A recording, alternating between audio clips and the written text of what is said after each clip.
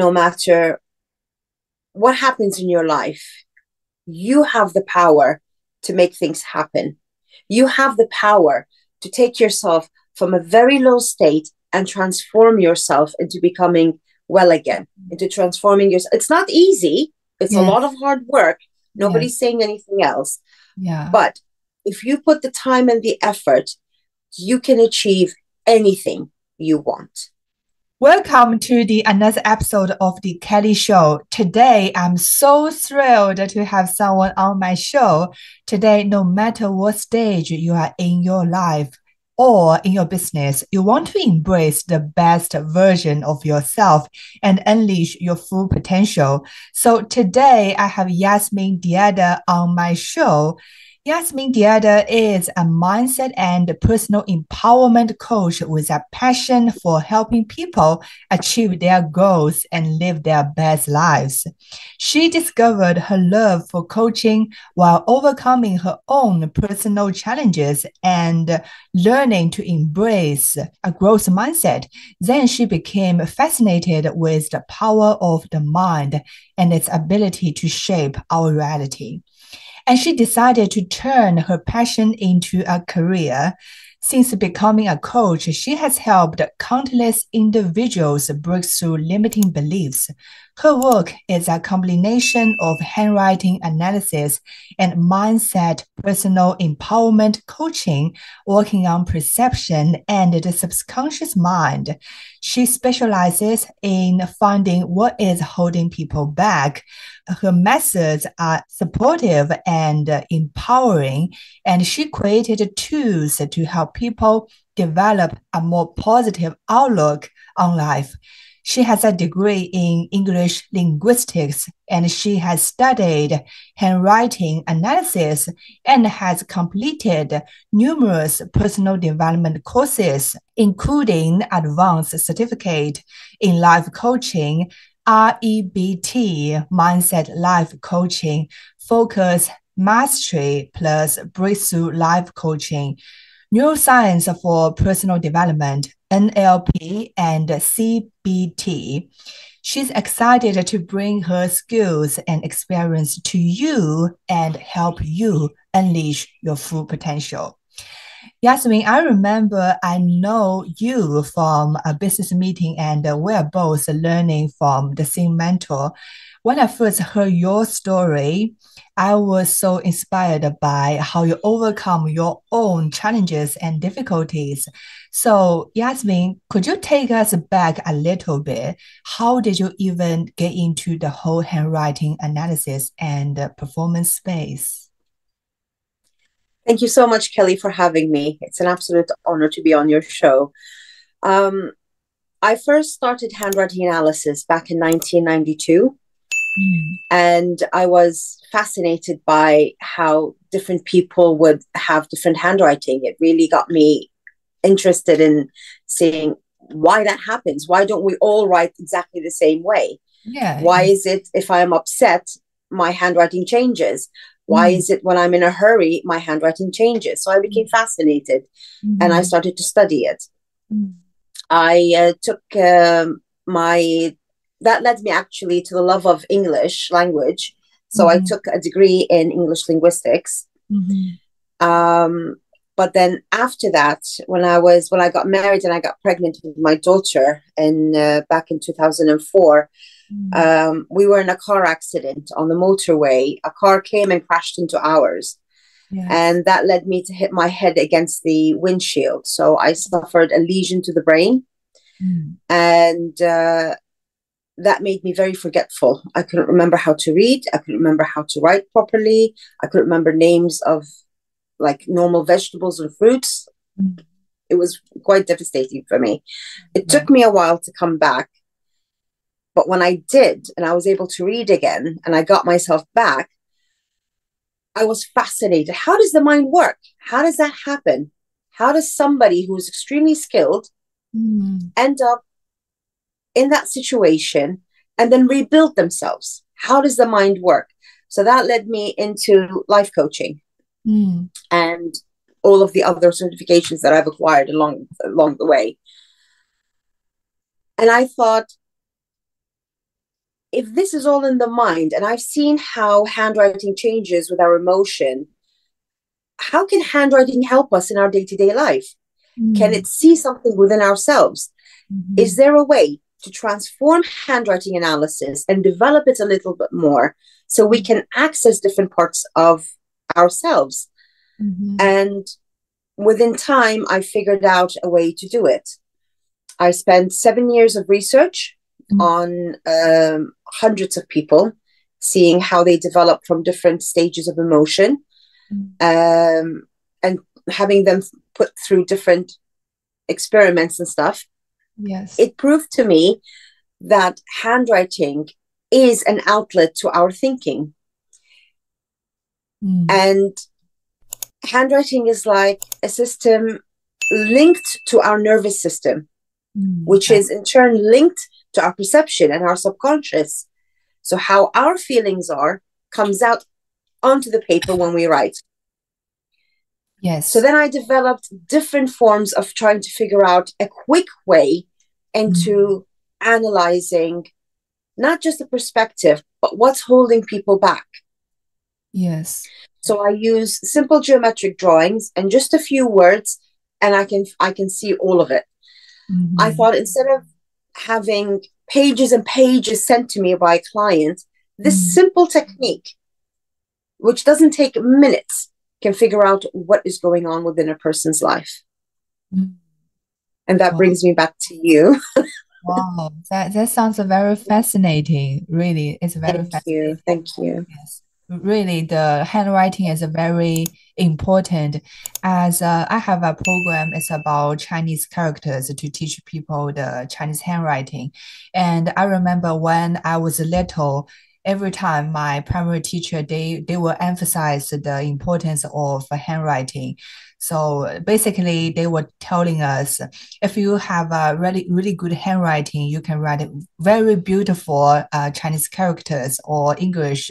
You will definitely leave a very good impression on others, especially when it comes to finding a job or something, right? If your handwriting is beautiful, they will think you have a very good personality and uh, you do things uh, very well, something like this. I think it's um, kind of related to what you do, right? Absolutely, absolutely, 100% it does. Because when we take effort in developing our handwriting to make it look beautiful yes. because as i said it's linked to our nervous system that mm. means that we are programming ourselves for excellence you and you, when you write your chinese characters in that specific way you are mm. reprogramming yourself to always achieve excellence to always present yourself in a positive manner you don't mm. let the negativity come through within your work and that is extremely important because anybody who wants to read your handwriting, if they can read it properly, they're not going to get miscommunication. They're not going to get confused. Right. They'll mm-hmm. see that beautiful handwriting and think, wow, this person is really amazing. And to the point where they take such pride in the way they write. So yeah. I agree with 100%. It's very, very important. Yes, yes, definitely. And can you explain to us? Uh, you told me that uh, you had a car, accident before, and it's uh, definitely catastrophic traffic for everyone, right? So, what do you think is the number one driver, one number one motivation that has gotten you where you are right now? Well, the number one drive that got me to where I am is besides my daughter, who is my pride and joy, mm-hmm. um, I wanted to show her that no matter what happens, you can always pick yourself back up. Mm-hmm. Definitely. I wanted to show people that no matter what happens in your life, you have the power to make things happen. You have the power to take yourself from a very low state and transform yourself into becoming well again, into transforming yourself. It's not easy. It's yes. a lot of hard work. Nobody's yes. saying anything else. Yeah. But if you put the time and the effort, you can achieve anything you want. Mm, yeah. And it starts by handwriting. It starts by your internal self. It starts with how you feel about yourself. can you conquer your own demons? Can you conquer the negativity? And that's where, where REBT comes into mm. because REBT is rational emotive behavioral therapy. It takes all of the irrational beliefs that we grew up with since we were children, all of the disempowering beliefs, and transform them into positive beliefs.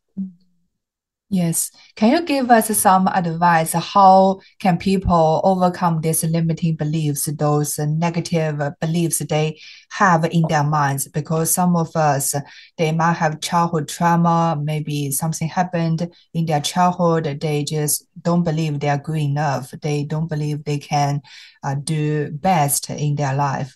What kind of suggestion you can give for people to overcome those limiting beliefs? Thank you very much for that question. That's a very, very good question, actually. Um, Thank you. The way that the, well, you're welcome. the way the mind works is, especially when we were little, yes, anything we are subjected to, because we don't have any reference point, we mm-hmm. take it as a guarantee. Yeah. So let's say that somebody's walking and then they trip on something. Mm-hmm. So a mm. parent thinking, oh, this is just a child that was so cute they'll tell them, oh, you've got crossed feet, you know, just as a joke. Yes, yes. The child remembers that crossed feet. Then they go to school and they trip on something else. And then one of the teachers laughs and says, oh, look at you, You you've got crossed feet. Mm. So the child will think, oh, I've had that twice. And over time, they will keep thinking about it, saying, oh, I've got crossed feet. When they grow up, they have that in their mind as a limiting belief or disempowering belief that they can't really run or they can't achieve anything because they've got crossed feet. Mm. Even though if they look down, their feet are not crossed. But it That's will right. limit them yes, from yes. creating something. The way to overcome it is to go back to analyze what it is that led them to have that belief. Okay, to find and out the source, the, the reason. The source of it and then analyze it and see was there any real truth to it? Mm. Once they find that actually, no, it was something completely different, and mm. as a child, not knowing any better, I misunderstood it, the brain will automatically correct itself. Mm-hmm.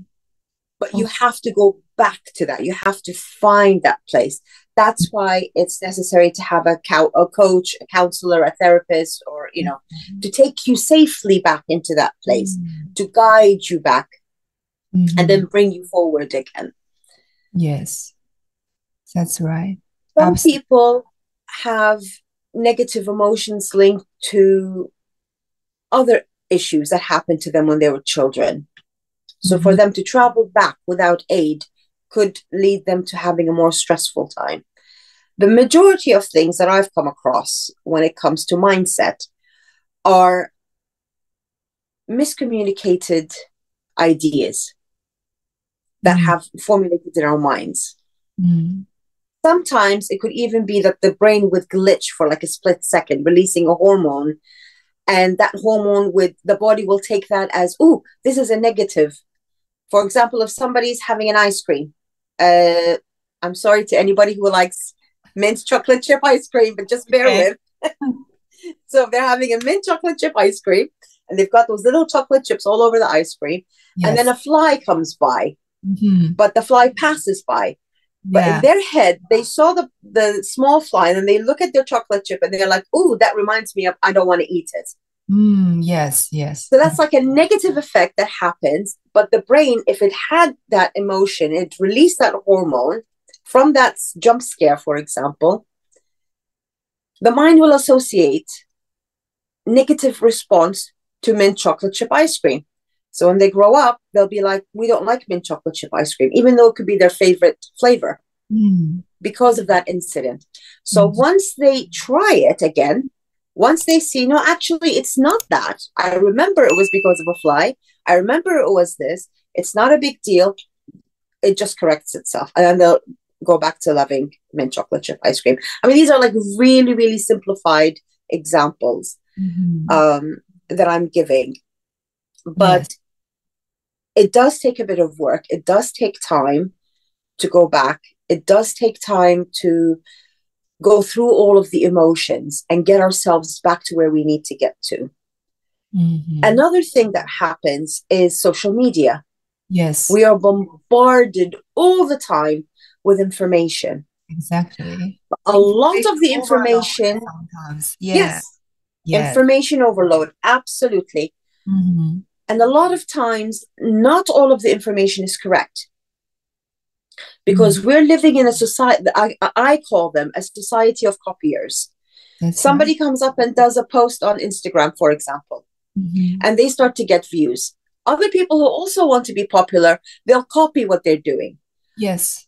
But the original has a message to it. Mm. The rest of them are just copying, and the Mm. message gets lost within the translation. Mm, mm, yeah, So whoever comes across the copied versions could either misunderstand the information or could have a different effect to it.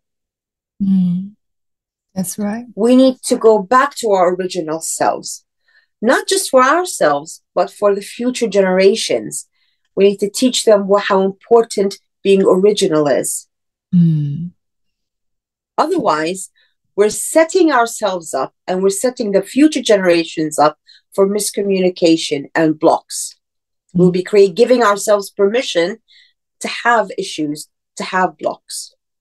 that's right. That's right. That's why mentor is very important. That's why having a coach to help us is very, very important.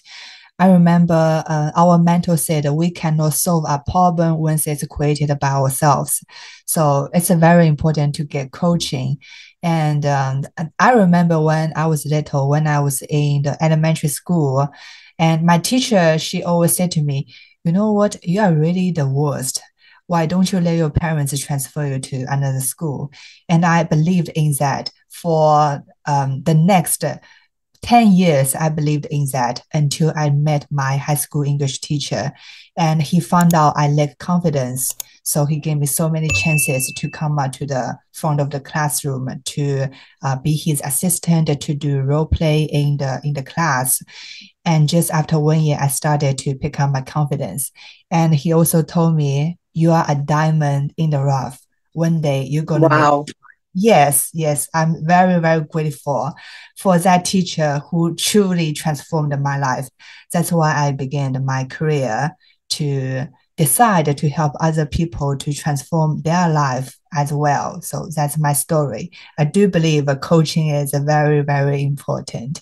So for many of our audience and listeners, so this niche, the handwriting analysis is still very new to them. Could you explain to them how does your system work? Yes, of course. Yes. So my system comprises of a very simple geometric drawing, like a circle, and you put a dot in the middle and then you cross it. Uh-huh. The reason why I've chosen this is because a lot of people now with IT coming Mm. in, Mhm. artificial intelligence, a lot of people are typing all the time. So their handwriting might not be as clear as it used to be before, Yes. or they might be nervous. They're not comfortable writing because they're going to have like uh, limiting beliefs as, oh, well, what if it's not nice enough? Or what if I make a mistake? Or what if, Mhm. so that all will come out in the analysis, which will give a negative response. But Mm. anybody from a two year old to a Mhm. 100 year old, anybody can draw a circle. Mhm. Anybody can do a dot. Anybody can do a cross. So that's why I've chosen those specific elements. Mm. You can also do a square or a triangle, anything that is simple to do. The, the Mm. whole point of this is the simplicity. Okay. I also require them to write down four words, Mm. four simple words, and number them one, two, three, four, and then write the numbers down around the circle. Mhm. And then I do the analysis. I do an analysis of the handwriting, the positioning. I do an analysis of how the circle was drawn, what the pressure points are, um, the size of it, the texture of it, all other aspects that come in with my analysis. Mhm. Um, I go, I'm very strict when it comes to um, people's information. So I will always ask for permission. Yes. I will ask them for permission. Would you mind if I start? And they'll give me permission. Then, if they'd like me to go, to, I will always stop myself and I tell them, Do you give me permission to go further? Only if they give me permission will I go to the next step. And then after that, I tell them, Do you give me permission to go even further? Yes. But once they say they feel they're not comfortable, the, Mm. all they have to do is just say stop. Okay. Once they say stop, I will immediately stop. And then we will start something else. We Mm, can do imagery or we can do other theories. mm. It's absolutely fine. It's something My main more, objective, more comfortable, right? Something. yes, absolutely. Yes. Or it could be the subject that we're touching, they're a bit too sensitive about. And I wouldn't be the proper coach to guide them through that. So then they'd need to be referred to a coach who is more specialized in that specific field for them. All I care about, beginning to end, are my clients. They're the most important thing to me. Yes. And making sure that they're comfortable, making sure that they feel that they're in a safe zone, making sure that they want to learn more and they want to get to the next level is the most important thing to me. I don't care about anything else. Mm, And I will always go above and beyond for them. Always. Yes. Nice, nice. So, how do you help those clients to overcome their own difficulties? Maybe you give them some suggestions, maybe just because they have the limiting belief, they don't do it. Sometimes it might Yeah. happen. Yes. Well, the beauty of my system is that it will cover everything for you. You can't really hide. That's why I have to always ask permission. So let's say that, let's just say, for example, that you had drawn me a circle and I was ana- analyzing it. And I saw that, let's just for an example, let's Mm, say that you had an issue between uh, work and life balance. It Mhm. came out in the drawing that there was an issue mm, between work and life balance. Well, then the next step we do is we will discuss what are the things that you feel are getting in the way. mhm, Um, and then I will coach you through it. I've got different handouts, I've got different tools that I can use that I'll bring in as well. And we get to the heart of the matter. We'll try to figure out as deep as we can, mm. as long as you give me permission to do so. Okay. find out what it is and then discuss it. And while we're discussing it, your subconscious mind is actually communicating with us Yes. Uh-huh. continuously. So once it starts to find out some information, it will start to trigger actions and reactions within it. And you will start to shift while we are still on the call. By the end of the call, you might feel a bit of resistance or a bit of change. You go Mhm. to sleep, you wake up, you'll feel a bit different. You'll be more willing to do actions. You'll be more willing to move forward. Just to help them to to open with open you. up, right? Yes, to help Yes. them to open up. Okay. Yeah. Yes. Yes. That Absolutely. sounds nice. So how long does that take to, let's say somebody who has a, a problem between life and the work? It's there's some kind of imbalance. So how long does it take for a person to having that problem, uh, to solving that problem? How much time It, does de- it all it depends. It depends on the person. Okay. It depends on, because all that I can do is show them what's there, Mm-hmm. but it's up to them to do the work. Mm-hmm. It's up to them to transform. I can't do it for them. Yes. No therapist can. It's up to them to want to move forward. Even if somebody, well, let's say, went to a um, a hypnotherapist, for ex- for example, Mhm. and the hypnotherapist did all their work, found out everything, got them to where they need to be, and then let's just say gave them exercises, gave them a recording, gave them a worksheet, whatever it was, and said, You need to follow this for 21 days. Mhm. The therapist cannot contact them every single day saying, Have you done it? Have you done it? Have you done it? It's up to the client to do that. Mm, That's right. If the client chooses to use the 21 days and to stick to the program, they will have the results. Mhm. If the client decides to do one week and then not do the rest of it, Mhm. they will not have the results. Mhm. So commitment is key. Mhm. Yes, yes, definitely, definitely. I think the, the same for my students as well. I can teach them, tell them all the knowledge and how to do it. It's up to them to do it or not, because I cannot uh, watch them 24 hours. It's up to them. Yes. Yes, if they want Yes. to change it or not, right? Absolutely. And each person is different. Some Mhm. person could have a very simple misunderstanding of a specific situation that happened many years ago. And I can shift them in one in one hour. wow, Other people could have really? yeah, other people could have um issues that are really deep rooted. Mhm. really, really deep rooted, they will take longer. Mhm. Other people who are in business, for example, they want to be able to transform a lot in order to achieve what they need or their goal. They might choose to have me on a on a retainer for one year, where we can work together twice a month for about an, an hour every other week. Yes. Um, and we can tackle any subject that comes along. Mm. It depends on the client and what their issue is. Mhm. So I can, I could potentially customize packages for clients depending on the client, um, if needed. If they qualify for what I can do, then definitely. Yes. Um, if they're large businesses, we can they can definitely have me on a on a retainer. Because if they have me on a retainer, not only will I be seeing them, I can also see other members of their staff. Mhm. So I could be helping other employees as well to achieve, and then the whole organization can benefit.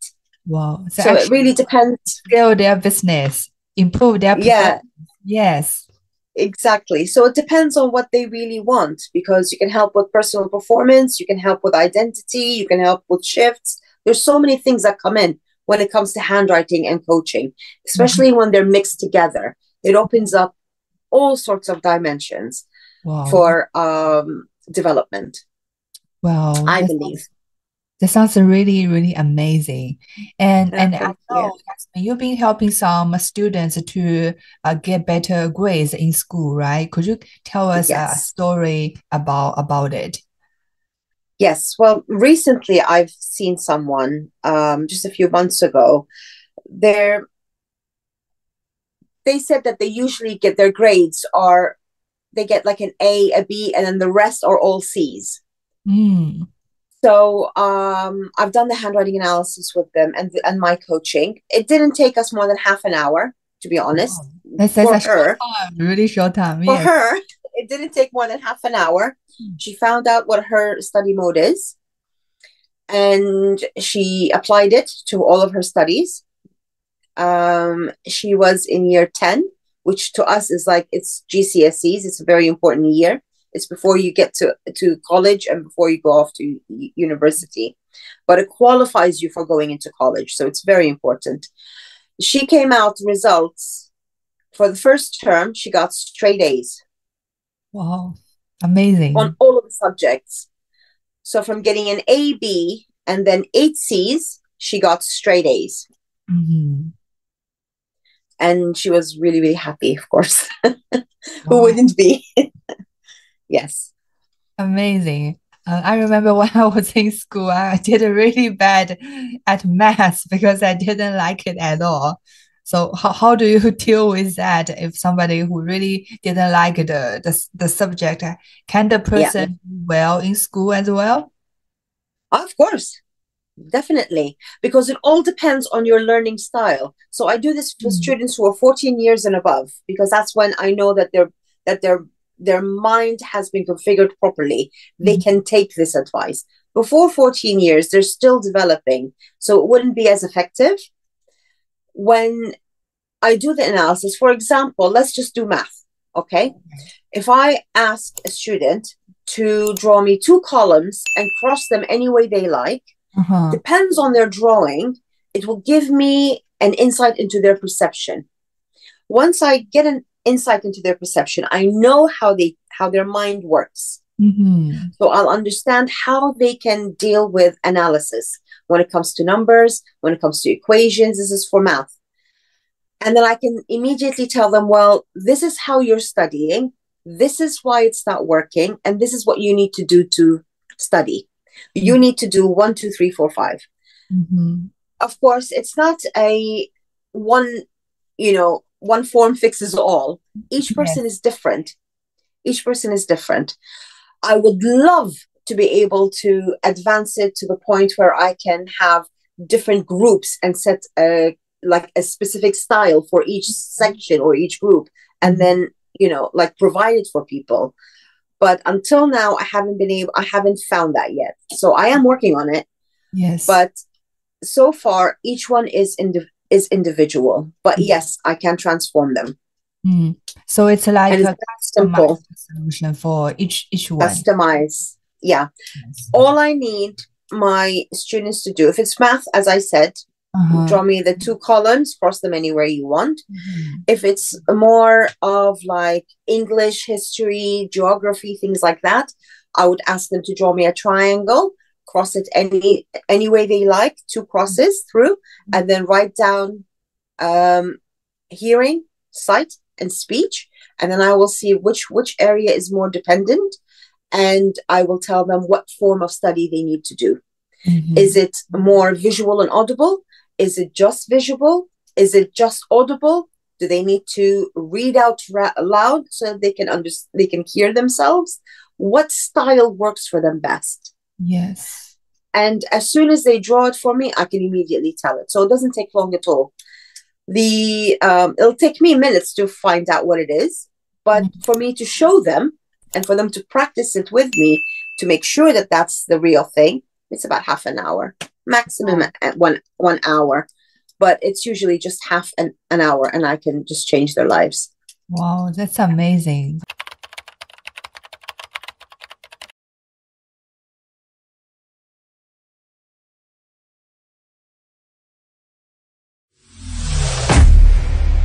Maybe you have been following me for quite some time now. You've been watching my videos for a period of time. I want to hear from you how my work has impacted your life and your Chinese learning process. I want you to comment below and share with me your story because that's what gives me the drive, the motivation to create more, to inspire more. I do read every single one of your comments so I look forward to reading your story.